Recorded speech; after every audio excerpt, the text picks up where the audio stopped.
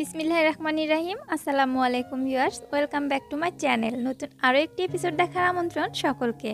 আমি আজকে এমন একটি রেসিপি শেয়ার করব আপনাদের সঙ্গে, আপনারা কিন্তু অবাক হয়ে যাবেন। সাবুদানা দিয়ে এত মজার একটি রেসিপি যে তৈরি হয়, সেটা কিন্তু আগে আমিও জানতাম না। তৈরি করার পর এতটা ভালো লেগেছে যে আপনাদের সঙ্গে শেয়ার না করে আর পারলাম না। তো আপনাদের সঙ্গে শেয়ার করছি। ভিডিওটি না টেনে লাস্ট পর্যন্ত দেখতে থাকুন, তাহলে কিন্তু খুবই মজাদার একটা রেসিপি আপনারা তৈরি করে নিতে পারবেন।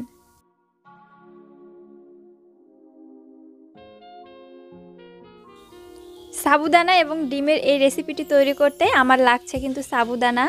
এখানে আমি হাফ কাপ পরিমাণে সাবুদানা নিয়েছি, এটা ভেজানোর পরে কিন্তু দ্বিগুণ হয়ে যাবে। এজন্য হাফ কাপই আমি নিয়েছি, আপনারা যদি আরও বেশি বানাতে চান তাহলে পরিমাপটা বাড়িয়ে নেবেন। এখানে আমি হাফ কাপ নিয়েছি। এখন এই সাবুদানাগুলোকে আমি ভালোভাবে পরিষ্কার পানিতে ধুয়ে নিব। এজন্য আমি একটা বড় পাত্রে সাবুদানাগুলো ঢেলে নিচ্ছি।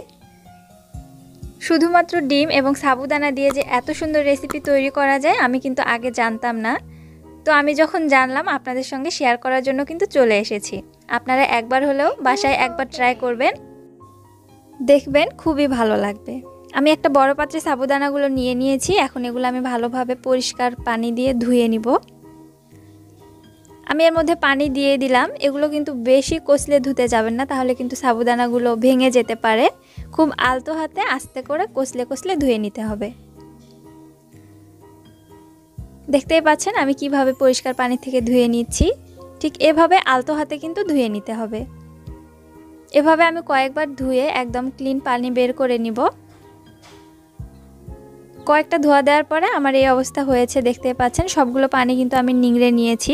এটা বেশি পানিতে কিন্তু ভিজিয়ে রাখা যাবে না, খুব অল্প। সামান্য পরিমাণে আমি কিন্তু পানি দিয়ে দিলাম। প্রায় তিন চামচ পরিমাণে দিয়েছি। একদমই কিন্তু পানি সাবুদানার উপরে উঠে যায়নি, তলাতে সামান্য পরিমাণে পানি রয়েছে। এই অবস্থাতে আমি ভিজিয়ে রাখব প্রায় এক থেকে দেড় ঘণ্টার জন্য। এর থেকে কম সময় রাখলেও হবে, আমার হাতে সময় ছিল, এজন্য আমি এক থেকে দেড় ঘণ্টা রেখেছি। আমার টাইমটা ঠিক মনে নেই। তো আমি ফিরে আসছি কিছুক্ষণ পরে। প্রায় এক থেকে দেড় ঘণ্টা পরে আমি ফিরে আসলাম। দেখতেই পাচ্ছেন, সাবুদানাগুলো কিন্তু অনেকটা ফুলে গিয়েছে এবং এর পরিমাপটাও কিন্তু অনেকটা বেড়ে গিয়েছে এবং একদমই কিন্তু ঝরঝরে হয়েছে। নিচে কিন্তু এক ফোঁটা পানির পরিমাণও নেই। আর এটা কতটা নরম হয়েছে আমি হাতে টিপে দেখাচ্ছি, দেখতেই পাচ্ছেন। ভিজিয়ে ঠিক এরকম নরম করেই কিন্তু আমাদের রেসিপিটা তৈরি করতে হবে। সাবুদানা কিন্তু একদমই শক্ত রাখা যাবে না। তো আমি আর একটা বড় পাত্রে সাবুদানাগুলোকে নিয়ে নিচ্ছি। আমার বাটিটা ছোট রয়েছে, এখানে আমি একটা বড় পাত্রে নিয়ে নিলাম যাতে নাড়াচাড়া করতে সুবিধা হয়। আমি দিয়ে দিচ্ছি এর মধ্যে দুটো ডিম। এই ডিমটাই কিন্তু এই রেসিপির স্বাদটাকে অনেক গুণ বাড়িয়ে দেয়। দিয়ে দিচ্ছি প্রায় এক কাপের একটু কম পেঁয়াজ কুচি এবং দিয়েছি কাঁচামরিচ কুচি। কাঁচামরিচ কুচি আমি এখানে চারটি ব্যবহার করেছি। যদি আপনারা ঝাল বেশি খেতে পছন্দ করেন, তাহলে আরও কিন্তু বাড়িয়ে দিতে পারেন। দিয়ে দিলাম বাদাম এটা কিন্তু আমার কাছে খুবই ভালো লাগে। এই রেসিপিটার মধ্যে বাদাম দিলে কিন্তু খুবই ভালো একটা টেস্ট আসে। দিয়ে দিলাম স্বাদ মতো লবণ এবং দিয়ে দিলাম কিছুটা হলুদ গুঁড়ো।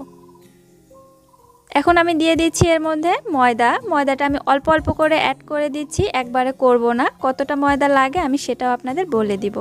এখন সব কিছু উপকরণগুলো আমি ভালোভাবে একসঙ্গে খুব ভালো করে মেখে নিব। এতে কিন্তু লিকুইড জাতীয় আর কিছুই ব্যবহার করতে হবে না, শুধুমাত্র ডিম দিয়ে কিন্তু এটি তৈরি হয়ে যাবে। পানিও কিন্তু এক ফোঁটাও ব্যবহার করব না। এগুলো খুব আলতো হাতে নেড়ে চেড়ে নিলেই কিন্তু সব কিছু ভালোভাবে একসঙ্গে মেখে যাবে এবং একটা আঠালো ভাব চলে আসবে। আমি যে ময়দাটা ব্যবহার করেছি সেটাতে হচ্ছে না, এখানে আমার আরও কিছু ময়দা লাগবে, আমি অল্প অল্প করে অ্যাড করে দিচ্ছি।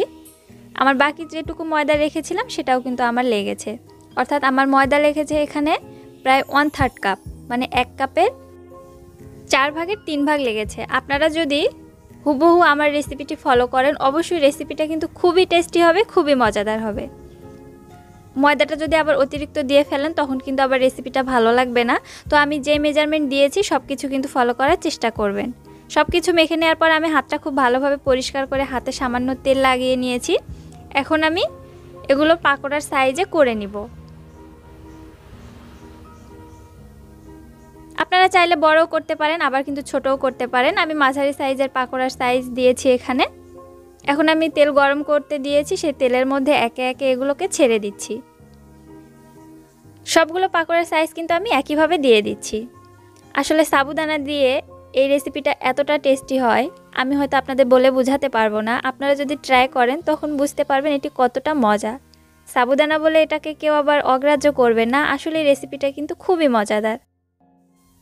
আপনারা যদি কাউকে এটি পরিবেশন করেন, তাহলে তারা কিন্তু একদম চমকে যাবে। এটি বুঝতেই পারবে না কি দিয়ে তৈরি এবং অবশ্যই কিন্তু আপনার কাছে রেসিপি জানতে চাইবে। তো আমি পাকোড়াগুলো এক পাশে হয়ে গিয়েছে আর এক সাইড থেকে উল্টে দিচ্ছি। ওই সাইড কিন্তু ব্রাউন কালার চলে এসেছে। ঠিক একইভাবে দুই সাইডে আমি খুব ভালোভাবে ভেজে নিব। এই ফাঁকে একটা ছোট্ট অনুরোধ করে রাখতে চাই, যারা আমার চ্যানেলে নতুন এসেছেন এখনও আমার চ্যানেলটি সাবস্ক্রাইব করেননি, প্লিজ আমার চ্যানেলটি সাবস্ক্রাইব করে পাশে থাকা বেল বাটনটি ক্লিক করবেন এবং লাইক, কমেন্ট, শেয়ার করবেন। এবং যারা আমার চ্যানেলটি সাবস্ক্রাইব করে রেখেছেন, তাদেরকে অসংখ্য ধন্যবাদ। পাকোড়াগুলো কিন্তু আমার ভাজা হয়ে গিয়েছে, দেখতেই পাচ্ছেন। খুব সুন্দর একটা কালার চলে এসেছে এবং এগুলো কিন্তু অনেকটা মচমচে হয়ে গিয়েছে।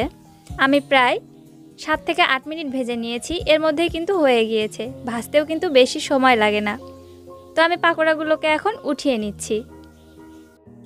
এবং এগুলো ভাজতে কিন্তু একদমই বেশি তেল লাগে না, খুব অল্প তেলেই ভাজা হয়ে যায়। তেল কিন্তু বেশি শোষণ করে না। যেহেতু তেলের দাম বেড়ে গিয়েছে তো আপনারা কিন্তু অল্প তেলেই ভেজে নিতে পারবেন। এত সহজে, এত অল্প তেলে যদি একটা রেসিপি তৈরি করা যায়, তাহলে আর কেন মিস করব, তাই না? এখানে আমি পরের ব্যাচে পাকোড়াগুলোও কিন্তু ভেজে নিচ্ছি। ঠিক আগের সাইজে এই ব্যাচেও দিয়ে দিয়েছি। এবং কিছুক্ষণ ভাজার পরে কিন্তু খুব সুন্দর একটা কালার চলে এসেছে। আরও একটু কিছুক্ষণ ভেজে নিব, তাহলেই কিন্তু আমার সবগুলো পাকোড়া তৈরি হয়ে যাবে। এটি গরম অথবা ঠান্ডা যে কোনোটাই কিন্তু খুবই ভালো লাগে। দেখতেই পাচ্ছেন, এগুলো কিন্তু সম্পূর্ণ ভাজা হয়ে গিয়েছে, কালারটা কিন্তু খুব ভালোভাবে চলে এসেছে। এখন আমি এগুলোকে উঠিয়ে নিচ্ছি।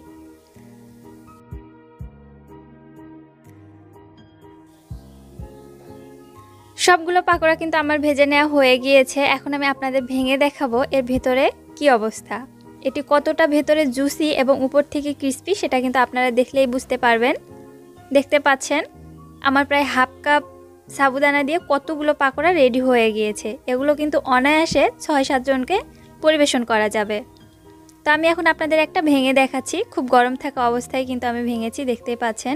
এটার ভেতরটা কিন্তু খুবই নরম, খুবই তুলতুলে এবং খুবই জুসি টাইপের এবং উপরটা কিন্তু খুবই ক্রিস্পি আশা করছি আমার রেসিপি আপনাদের কাছে ভালো লাগবে।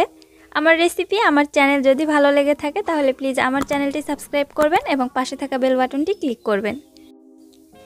আমি পরবর্তীতে আবারও কোনো নিত্য নতুন রেসিপি নিয়ে হাজির হয়ে যাব। সে পর্যন্ত সবাই ভালো থাকবেন, সুস্থ থাকবেন। আজকে আর কথা বাড়াচ্ছি না, এখানেই বিদায় নিয়ে নিচ্ছি। আল্লাহ হাফেজ।